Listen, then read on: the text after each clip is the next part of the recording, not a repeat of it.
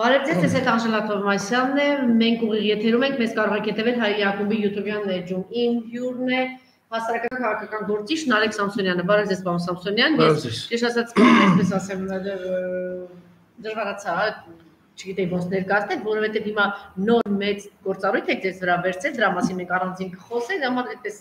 կարծում եմ այդպես է ճիշտ ներկայացնել հասարակական եւ քաղաքական գործիչ։ Ասեմ, որ պարոն Սամսոնյանը այն բացառիկ գործիչներից է, որ պայքարը ոչ թե սկսեց, որ մասնման 6 ամիս հետո 1 տարի հետո, չգիտեմ, 2 տարի հետո պատերազմի իբրև թե սկսելուց հետո եւ այլն եւ այլն ես հիմա հարկ եմ համարում հատկապես այդ ամենը նշել պարոն Սամսոնյանը փոքր փոքր թվով մարդկանցից էր որ առաջին իսկ վարքյանից ազդարարեց որ մենք գործ ունենք դավաճան ստահակի հետ, ով պատրաստվում է հանձնել հայրենիքը եւ կյանք եւ ժամանակը ցույց տվեց, որ հենց այդպես է շնորհակալություն դրական պարոն Սամսոնյանը ձեր պայքարը տևական է, այս պահին էլ հիմա էլ շարունակվում է, խումբ է ձևավորվել եւ այդ խումբը այսօրին էլ իր մեջ գործառույթ է վերցրել, այն է նրանք պիտի ընտրությունների ժամանակ վերահսկեն ընտրական գործընթացը ասուլիս ունեցան դրա մասին մանրամասը խոսել են մենք մասամբ դրա մասին խոսենք բայց գիտեք ինչ այնպիսի անհետեցություններ է ձեր չգիտեմ ինչ ասեմ ամ ուշադրության կենտրոնում հայտնված անդնա Նիկոլը թույլ տալիս ես կուզենայի որ մենք առանձին առանձին դրա մասին խոսենք բայց մինչ այդ ուզում եմ ասել որ սահմանում մնում է շատ լարված այն տխմար տկարամիտները ում ովքեր որ կարծում էին որ Արցախի ազատագրված տարածքները հանձնելով մենք պիտի հանգիստ ապրենք, հետո Արցախը հանձնելով պիտի հանգիստ ապրենք, մարդիկ զգուշացնում ասում էին, որ դա մեր անվտանգության գոտին է, այսօր մեր սահմանները շատ բան լարված իրավիճակ է տիրում մեր հենց Հայաստանի սահմաններում գիտեք որ 3 չի առաջին օրը 60 գլուխ հետո ասեցին 80 գլուխ անասուն է տարել ճշնամին մեր կողմից գրակայարթեր պաշտպանություն չի եղել հետո արդեն դա շարունակվեց այս գիշեր էլ ասում են 20 ձիեն փորձել է առևանգել ճշնամիները, բայց կրակահերթը մեր կողմից ընչել եւ կարողացել են պահել պահպանել։ Էնպես որ այս ամեն ինչը շարունակվում է, ել չեմ ասում, որ պարոն Սամսոնյան, մենք հիմա բացարձակ չենք խոսում վեց գերիների մասին կարելի է կարծել այդպիսի թեմա ոչ էլ եղել է, հա, Հայաստանից գերեվարեցին, դե մնացածի մասին էլ մոռացել ենք, բոլոր ուշադրությունը ընտրությունների վրա կենտրոնացած, սահմանի մասին եմ խնդրում խոսել եւ իր հայտարարությունների մասին։ Ժողովուրդը ինչքան ուզի ինքը կխփի այսպիսի հայտարարություն արել 2018 թվականների 18 թվականից հետո իմ ընտանիքի վիճակը շատ ավելի վատացել է, այսպես է ասում Նիկոլ։ Աշրեջան, այս հերթով գնանք ես սաղ չեմ հիշելու։ Հա, որովհետեւ ես ուզում եմ ձեր չխանգարեի, որ ազատ խոսես։ Չէ, չէ, ես մոնոլոգին դեմ սիրով կպատասխանեմ ընթացքում։ Իր ասած ողջ հիմարություններին մասին խոսել է ուղղակի ձեր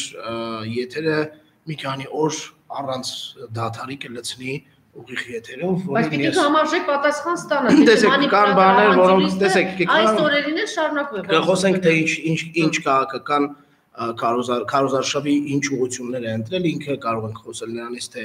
այդ ուղություններով նա որ հասարակության որ շերտի վրա է աշխատում, ինչպես է փորձում կապիտալիզացնել իր ձայները եւ այլն եւ այլն դրանից սիրող, բայց ամեն ասած հիմարության վրա կենտրոնանալը ինձ թվում է ժամանակատար է եւ Դուք կարծում եք հիմարություն է թե ինքը շատ ճշգրիտ, հենց եկեք այն ձեր ասացի մասը խոսեք, շատ ճշգրիտ թիրախավորված, ինքը աշխատում եւ մեր նախնական զրույցում շատ ճիշտ բան ասեցիք։ Մի տեսակ խեղճության բան է, այն առաջ բերում եւ լավ Ինքը դրել է, ինքը շեշտը շեշտը դրել է իր քարոզարշավի, այսինքն այն իր ընտրազանգվածը ինքը ընտրել է իրականում այն ինչ որ կար որովհետև 2018 թվականին եկեք ընդունենք, որ ոչ միայն իրեն ընտրում էր ցածր խավը, այո, դա ցածր խավի, ըստ էության, անգրագետ խավի, ինտելեկտուալ ամենանվազագույն զանգվածի, սոցիալական ամենավատ պայմաններ ունեցող հասարակության հատվածի ապստամբություններ, որը ես ասել եմ եւ կասեմ, դա ոչ ինտելեկտուալ փոքրամասնության ագրեսիվ փոքրամասնության հարցակումներ ընդդեմ Հայաստանի, արշավանքներ ընդդեմ Հայաստանի Հանրապետության։ Բայց այնտեղ կային նաև ինտելեկտուալ մարդիկ, որոնք ինչ-ինչ պատճառներից ելնելով ընտրել են իրեն։ Այնտեղ IT ոլորտի բոլոր մասնագետները գնացին ընտրեցին իրեն, չգիտեմ, այս Միքայել Պողոսյաններ եւ այլններ եւ այլններ, այդ այսպես կոչված արվեստը, Լալա Մնացականյաններ, նրանք ամենայն դեպս ոչ ինտելեկտուալների մեջ նրանց չի կարելի դնել, նրանք հանցագործություն արեցին, ի տարբերություն ոչ ինտելեկտուալների, Հիմա նա հասկացել է, որ իր կոնտինգենտը բացառապես մնացել է վերջին շրջանում շատ տարածված մի պիտակավորումով, այսինքն դա պիտակավորում չի, դա ըստ էության օբյեկտիվ գնահատականը շեխը։ Նա աշխատում է հասարակության ամենացածր խավի վրա, նրա բոլոր ելույթներում այդ ամենացածր խավին ուղված մեսեջները նա չի խոսում մարդկանց հետ, որոնք որ ունեն ինտելեկտ։ Ուշադրություն եթե դարձնեք նա ըստ էության այս այս փուլում հատկապես այս փուլում հայտնվել է հետաքրքիր փակուղու արժե, որովհետև նա չի կարողանում ֆետիշացնել եւ այսպես ասած ահասարսուր դարձնել իր հակար հիմնական հակառակորդին երկրորդ նախագահին ըստ էության բարձր է որ ֆավորիտա ընդդիմության երկրորդ նախագահն է այստեղ երկրորդ կարծիք չկա եթե կա ուրեմն խապկանք է դա չի կարողանում ֆետիշացնել չի կարողանում վախեցնել եւ նա անցել է այսպես ասած փոխհրաձգության բայց Ռոբերտ Քոչարյանի թելադրած կանոններով Օրինակ, ինչու օրակարգ կարծիքը կա, պարոն, որ ինքն է թելադրում։ Ասեմ ձեզ, ինքը չի թելադրում օրակարգ, իրեն ընդհանրապես ձեռնտու չի խոսել տղամարդկությունից, Իսկ Քոչյանը տղամարդկությունը դարձրել է իր քարոզարշավի հիմնական ուղղություններից մեկը։ Քոչյանը խոսում է տղամարդկությունից, ինքը որսից նկարը դերքը բռնած վազում է մարզեր։ Քոչյանն ասում ուզում է ստորագրություն տամ, կտամ ամսի 21-ին։ Ինքը հիմա հաջորդ բանն է անում։ Խոսում է, ինքը խոսում է տղամարդկությունից, հետո ինքը խոսում։ Մի խոսքով, այսինքն, այստեղ Ռոբերտ Քոչյանի կողմից Ռոբերտ Քոչյանն օգտագործում է իր ամենաուժեղ կողմը, ի տարբերություն իրեն, իսկ ինքը անընդհատ փորձում է պաշտպանվել եւ ինքն իրեն էլ է ուզում ապացուցել, որ ինքը տղամարդ է, այնինչ ինքը գիտի, որ դա այդպես չէ։ Իր Կարոզարշավի հիմնական մեխը, հիմնական թիրախը դա ցածր գիտակցություն, քաղաքացիական ցածր գիտակցություն, պատասխանատվություն ունեցող հասարակության մաս, օրինակ տեսեք, նա դիրքավորվել է որպես հարիվ։ հա։ Այսինքն դու չես կարող դիրքավորվել որպես հարիվ եւ մրցել Քոչարյանի հետ տղամարդկության ոլորտում հասկանում եք իսկ ինչու է դա դիրքավորվել որպես հայ այսինքն որ խեղճ Նիկոլի գլխի սարքեցին դու տեսեք ես մի մի մի քանի օրինակ բերեմ Նիկոլը մեղ կա Նիկոլը խեղճ է ինքը ինքը մեղավոր չի իր գլխին սարքեցին ինքը չէր կարա կանխել տեսեք տեսեք չէ չէ չէ հենց է դա հենց է դա ինքը ինքն էր ասում տեսեք ինքը փորձում է մեկ դիրքավորվել այդպես բայց իր ողջ կողմնակիցները իրեն ասում են ինքը աշխատում է հասարակության մոտ խղճարություն առաջացնել եւ առաջացնում է դա ամենացածր հայրոտ ինչու որտեղ ինտելեկտուալ մարդը ասում է Եթե մարդը խեղճ է, եթե մարդը հարիվ է, եթե նրա ջեբը գցել են Արցախը, եթե նրան անընդհատ խափում են, եթե նրան անընդհատ նա ոչ մի բան չի կարողանում կանխել, որովհետև սաղ իր դեմ են, ինքն էլ այդքան թույլ է։ Խելամիտ մարդ ասում եմ, դա այդպեսի մարդը չի կարող լինել երկրի ղեկավար, չէ։ Իսկ Ժեխը ասում է, ինչ ասում, ասում է, այ մարդ Նիկոլա Հարիֆ է, այն վերջերս էս արտաշատում է, ագրեսիվ է, խառնամբոխով հարձակվել է նրան վրա։ Այնտեղ մի հատ հայտնի բան կա, չէ՞, Սյուզի Բադոյանը հարցնում է ինչ-որ մեկին, ասում է, այ ցավը տանեմ, Նիկոլա Հարիֆա։ Ձմերուկ կերել են կլեպը թողել են իրան։ Հասկանում եք, այսինքն մի մարդ, որը որ հարիֆի, խեղճի, մեղքի, այսօր էլ է ձեր ասած մյուս բանը, հա, ինչ ասած, մեր իմ ընտանիքի բանը 18 թվականից հետո ֆինանսական դրությունը վատացի։ Հասկանում եք, սրա տեսեք, սա աշխատում են դեբիլների մոտ։ Միայն դեբիլ անուղեղ, անողնաշար մարդը կարող է այս հայտարարությանը հավատալ։ Ինքն աշխատում է այդ կոնտինգենտի վրա։ Ինքը փորձում է խղճահարություն առաջացնելու հերթական բանն է փորձում է։ Տեսեք ինքը ինչ որ միտեղ ասում է, ես չեմ կարողանում քնել գիշերները։ Երեք տեսակ Սերժ Սարգսյանն ինչ ասաց։ Ասաց, եթե ես լինեի իր տեղը, ես կխփեի։ Այսինքն խելամիտ մարդկանց մոտ իրենց հիմարությունները չի աշխատել եւ չի աշխատելու, որովհետեւ խելամիտ մարդիկ հասկանում են, որ այս ինֆանտիլը չի կարող լինել Հայաստանի Հանրապետության ղեկավար Բայց դա աշխատում է ժեխի մոտ։ Եվ հիմա զուգահեռ իրականությունում Ռոբերտ Քոչյանը բերել է եւ սեղանին է դրել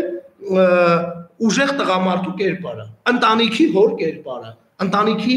մեծի կերպարը։ Տեսեք Քոչյանի քարոզ արշավը ոնց է գնում։ Ու զուգահեռ Նիկոլի քարոզ արշավը ինքը պետք է ժեխի հետ խոսա որպես խեղճ մեղ մեզ ուզում են սենց անեն, սարսափեն տարածում։ Մեկ ասում են փոխվի, բարոն Սամսոնից, ում հետո ագրեսիվ կդառնայի ոչ է, բայց մի բան ոնց որ թե փորձեց ասել, օ, դե ինքը միշտ էլ փորձ է, տեսեք։ Դա դա դա դա էլ ավելի շատ։ Սերժարովական բանից որ էլի։ Տեսեք, Անջելա ջան, դա արդեն հոգեկան խնդիրների հետ է կապված։ Չեմ կարծում, դա այդպես է, եթե ուսումնասիրեք ասենք public speaking-ի մասնագիտական գրականություն կհասկանաք նա ինչ ինչի անում, նա ինչ որ X փուլում գնում է տրանսի մեջ։ Նա ինքն իրեն իր լսարանից ստանում է էներգիա, իր էներգիան կրկնապատու, արդեն հումից դուրս է գալիս, չի հասկանում ինչ է խոսում։ Օրինակ, ինչ է նշանակում։ Մենք դի դուրս գանք փողոց, բոլորին է թափ-թփուկները, ովքեր խոսում են, սատկացնենք։ Դա դա խելագար մարդու ասած է։ Հասկանում եք, մի մարդ, որը որ սկզբից ինքն իրեն կարոզում է որպես խեղճ։ Տեսեք, թիմին հանրահանձնարարում է, հանձնարարում է, հանգում է, որ ինքն ասի, որ օրինակ Ռոբերտ Քոչյանի հետ ասոցացվում են մարդասպանություններ։ Սպանությունները ասոցացվում են Քոչյանի հետ։ Դա ասում է մի մարդ, որի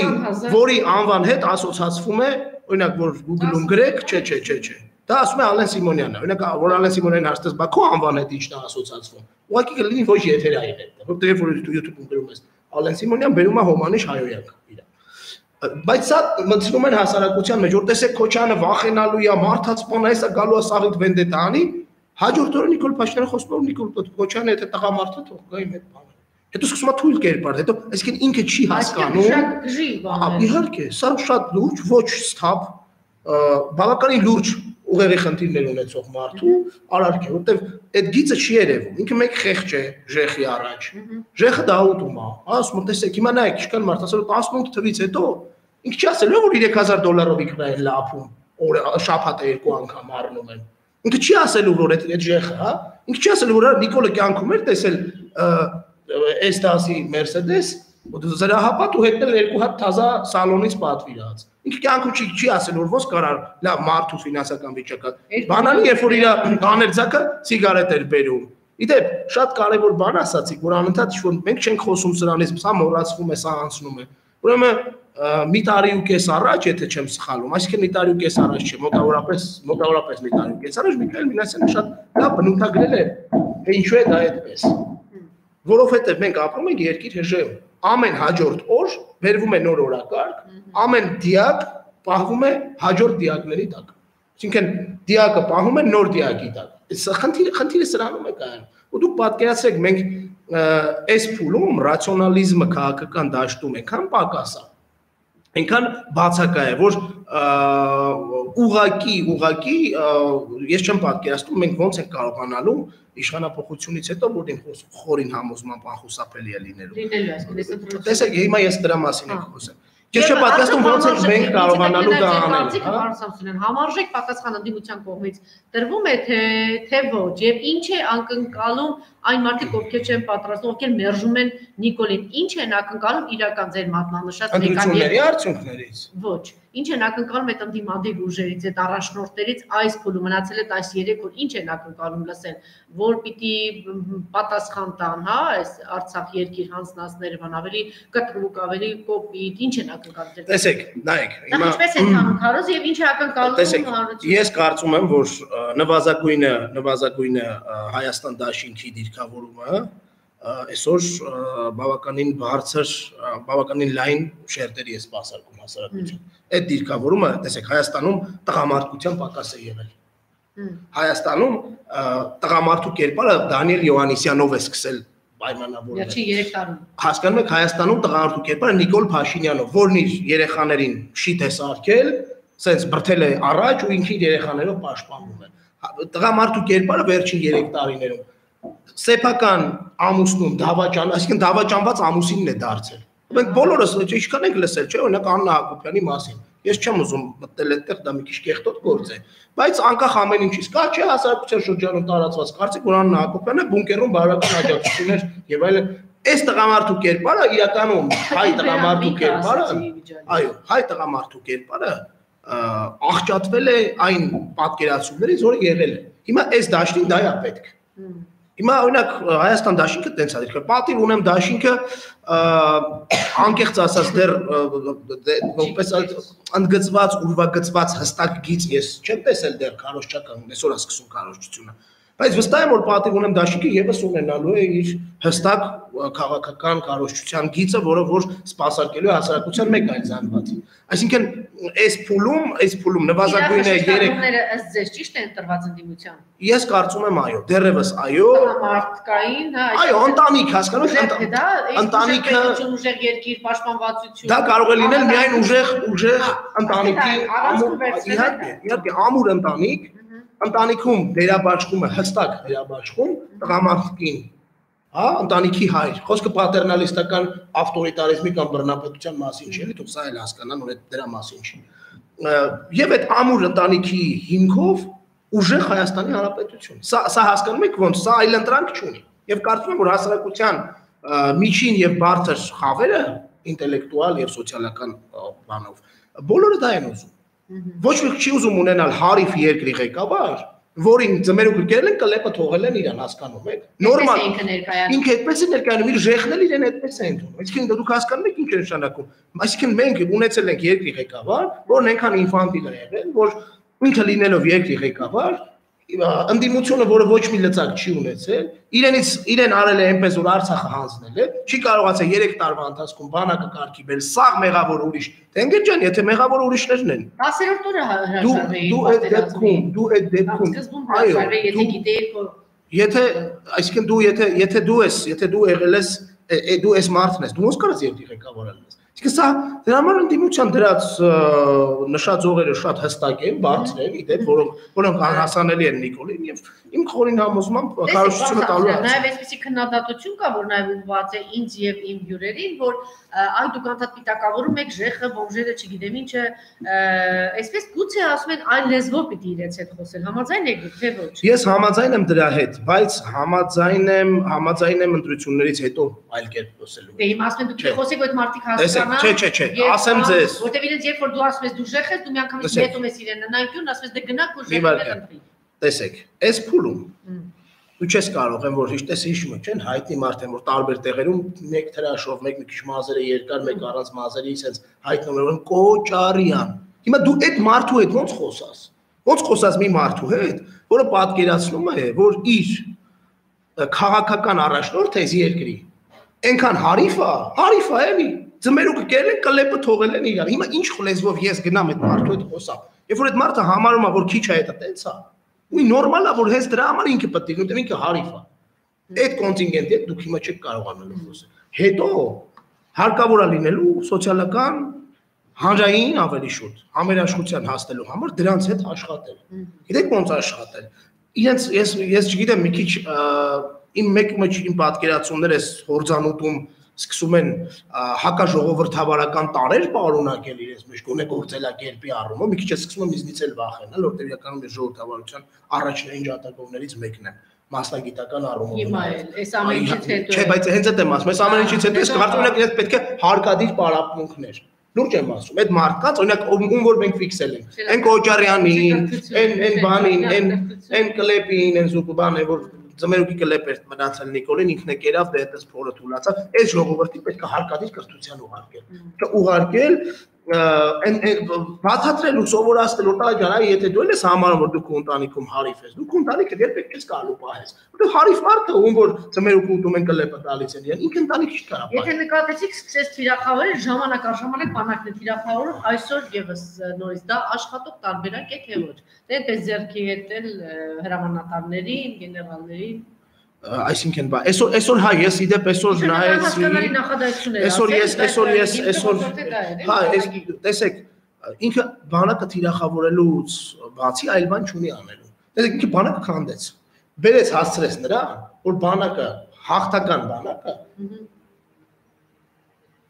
ուղղակի խայտարակ պարտություն կրեց Հիմա ինքը այդտեղ մեղավորներ նշանակեց, ինչպես առաջի օրին դավաճաններ կան։ Հետո Օնիկը Գասպարյան դարձավ այդ դավաճանը, հետո Վանը դարձավ այդ դավաճանը։ Այսինքն ես համարում եմ շատ նորմալ ու չեմ բացառում ընդհանրապես ինչ որ փուլում Նիկոլ Փաշինյանը կհավաքի իր ժեխին եւ կասի որ մեզ էլ բանակ պետք չի ու կհավատացնում եմ ձեզ կլինեն մարդիկ որոնք կասեն արա ճիշտ է ասում սա հարիֆ է սա մեղք է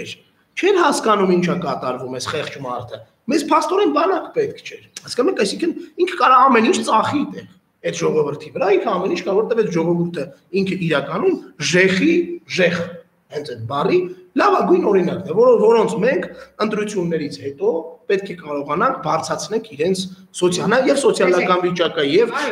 գիտակցական վիճակը եւ կրթական Տեսեք, վիճակը այս բանին է խորհուրդ են տալիս, ասեմ, եւ նե պետք է իրենց հետ աշխատել եւ շատ քիչ ժամանակ կա միջև ընտրությունը եւ 24 քանի որ ընդդիմադիրների ձայնը շատ քիչ է լսվում, հատկապես Բաթի Գունեմի եւ Հայաստանի, չգիտեմ ինչի այդպեսի կարծիք կա։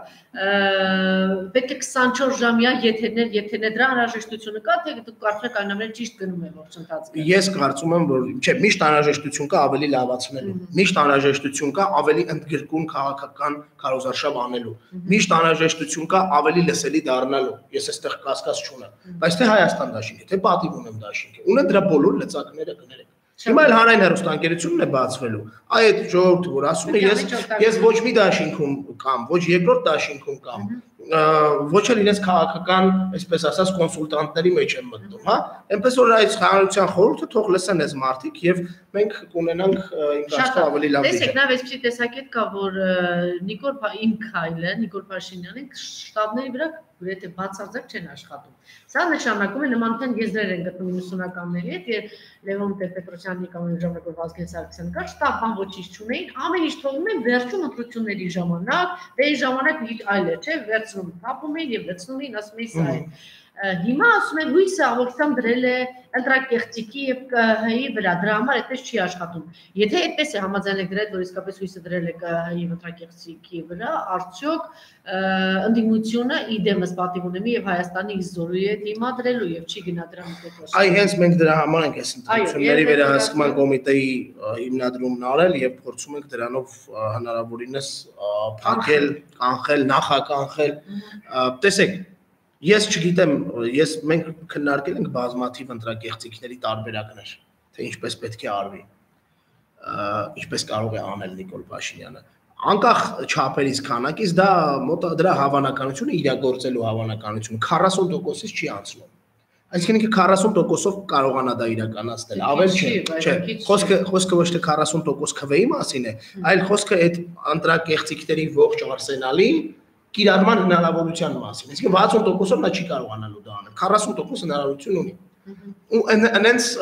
իրականում շատ կոշտ միջոցներով պետք է դա անել։ Օրինակի համար ասեմ ձեզ մեկը։ Օրինակի համար Տիգրան Մուկուչյանը գնա եւ ընտրությունների օրը արձանագրությունների, կազմված արձանագրությունները փոխի, ստորագրությունները կեղծի եւ հրաապարակի թիվ Ինչին ես խիստ կասկածում եմ, Տիգրան Մուկուչյանը ինքնասպան չի, որ նման բան անի։ Ինչի է, այնպես չի, որ վերջինատրությունների ժամանակ ես կարծում եմ հանրապետական կուսակցությունը անցել է, շատ լավալ հանրապետական կուսակցությունը դուրս թողել։ Դե Անջելա ջան, հիմա ես ստիպված կլինեմ ասել են ինչ որ 2 տարի բարձր չեմ ասել։ Դրան դրանով մեղավոր հանրապետական կուսակցությունը, որը չբողոքարկեց։ Թող բողոքարկեին, թող հասկանային, թե ինչի չբողոքարկեցին, թող իրենք ասեն։ Ես մեղավոր չեմ դրանում, ոչ էլ Տիգրան Մուկուչյանը։ Հիմա այդպես չի լինելու դե հիմա ոչ միայն այդպես չի լինելու, այլ հիմա ես գիտեմ, որ մենք փորձելու ենք այդ ծածկույթը ապահովել հնարավորինս շատ, հնարավորինս խիտ։ Այսինքն ընտրատեղամասերում մենք փորձելու ենք դա զսպել։ Ընդդիմությունն ասում է, եթե հանկարծ այդպեսին ընտրակերտի գած եւ թիվ նկարեցին դրա մասին հայտարարեցին, ապա մենք փողոցային պայքար կսկսենք, բայց նաեւ տեսակետ կա, որ մարդը Արցախը հանձնել նվիրել է տականքը, չգիտեմ։ Ինչ են ասում, ով է ինչի որ դեպքում փողոցային պայքար կսկսենք։ Եթե ընտրակերտիկներ լինի եւ ինքը հաղթի, ապա ընդդիմությունը դուրս կգա փողոց Այս դեպքում չգիտեմ հանրությունը արդյոք դուրս կգա, երկիրը հանձնում են դուրս գալիս մեծ հաշվով, այսքան զոհեր, ել չեմ ասում ես, եթե ասում եմ մի նորմալ բան երկրում, եթե պարկի մեջ տեսնեին մի զինվորի դի այդպես նետված, հա, դիակապությամբ, այսինքն անգամ դրա մասին է խոսում, հիմա չգիտեմ ինչ պայթուն կներ, հազարավոր այդպիսի դիակներ, չէ, հանրությունը չասեմ թմբիլի մեջ, շոկային բանի մեջ է, արդյոք դուրս կգա։ Անժելա ջան, ուրեմն ասեմ մի բան, ասեմ մի բան։ Ուրեմն եթե լինի այդպիսի սցենար, եւ ամսի 21-ից փողոցները հանրությանը նորից եմ կրկնում, սпасել պետք չի, որակյալ մեծամասնություն կա այս երկրում։ Որը բացի է, որը բացի է։ Անջելա ջան, դա 2000 հոգով էլ հնարավոր անել ներողություն։ 2000 հոգով էլ հնարավոր է, եկեք ավելի շատ փակագծեր չբացեք։ Եթե երրորդյա ժամկետում Նիկոլ Փաշինյանը բանտում հայտնված չեղավ, Հայաստանում անխուսափելի լինելու քաղաքացիական պատերազմ այս ընտրություններում եթե ինքը որոշեց վերարտադրվելու փորձանել այս կամ այն կերպ։ Բաժիկները պատրաստումիկները չի հասկանում կյանքի մայ հարցը իր համար։ Տես ես դե ես ինքը սովոր է ուսուցիչը չէ Վանո Սիրադեղյանի մյուսի կարող այդպես խմբեր Վանո եկեք Վանոին չվիրավորենք դեսկոլին ուսուցիչ կարգելով որտեղ Վանոն վստահ եմ կվիրավորվի որ սա իր աշակերտն է։ Բանդայի հեղինակ եղել, եթե դատարանն է ապացուցել։ Դա դրա մասին։ Եվ այդ բանդայի հեղինակները Դե բանդայի հեղինակը սենց ապիկար ուսանող կունենար, սա ով է։ Ինչու ոչ, մենք պետք է Լավ էլի, սա ով է։ Ով է սա 5 3 տարի է գոռումած թավիշին վերջ, տվեք պոլերին, տվեք պոլերին, պարկացրեք պատերին։ Դե հայտարարություններ էր Չէ, չէ, ուզում եմ ասեմ ինքն չէ, չէ։ Ես չեմ ասում Վանոն լավն է, Նիկոլը վատ է։ Ես ասում եմ Նիկոլը ապիկար, ամպիտանա անգամ այդ առումով, որ ինքը անգամ ծեծ ջարդ, կռիվ եւ այլն եւ այլն չի կարող կազմել, դու ինքը այդքան տղամարդ չի։ Ի տարբերությունին Վանոն տղամարդ էր բոլորը չի կարողանա անել։ Իհարկե չի կարողանա։ Չէ, կարող կկարողանա հենց բայց